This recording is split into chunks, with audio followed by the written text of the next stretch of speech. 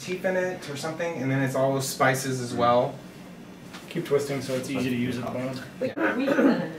Here, you know what? Let's just put these out and you guys can just uh, serve yours.